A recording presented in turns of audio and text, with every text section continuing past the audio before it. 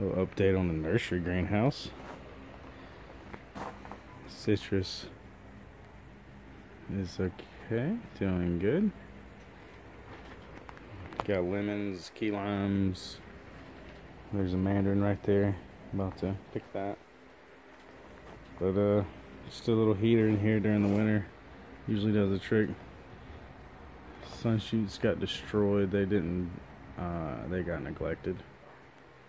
But the pea shoots did well. Yep.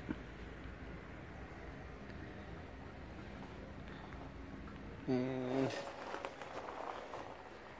just it's a mess in here. It's a mess in here.